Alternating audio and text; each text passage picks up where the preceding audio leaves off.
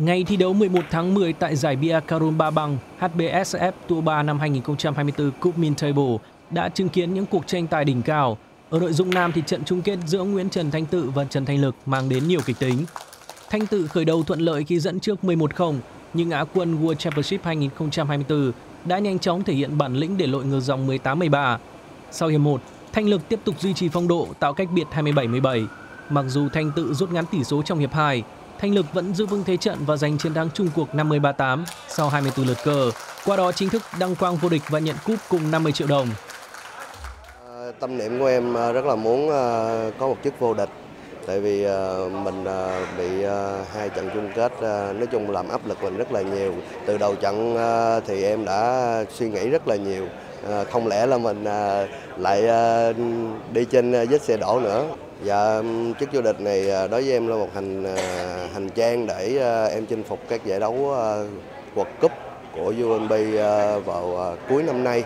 Đó là Hà Lan, xong rồi đến Hàn Quốc và sau đó là Ai Cập.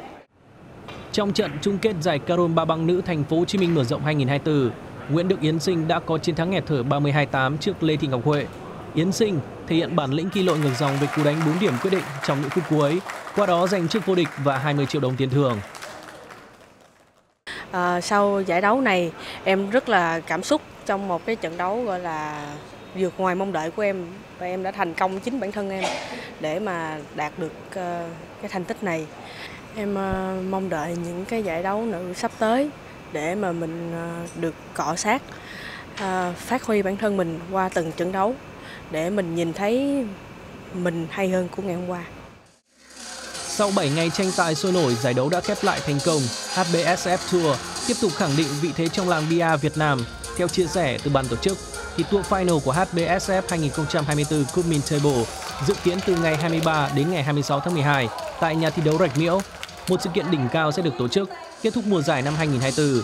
Sự kiện hứa hẹn sẽ thu hút những tay cơ xuất sắc nhất Việt Nam và quốc tế, cạnh tranh ở cả hai nội dung là Carom và Pool.